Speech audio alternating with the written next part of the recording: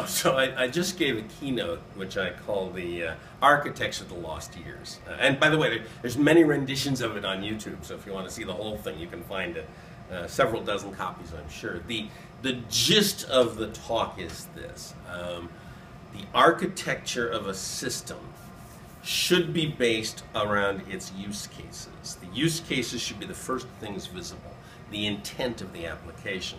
And those use cases should be divorced from the UI, whether it's the web or something else, from the database, no matter what kind of database that is. You would like the UI and the database and other external things, and note I call them external things, to plug in to the business rules. And, and although there are many, many very good reasons for this, one of the more important reasons is that it allows independence of testing. You can test your business rules without the GUI in place, without the database in place, without the frameworks in place, without the web running, without any of the systems running, without the application server going.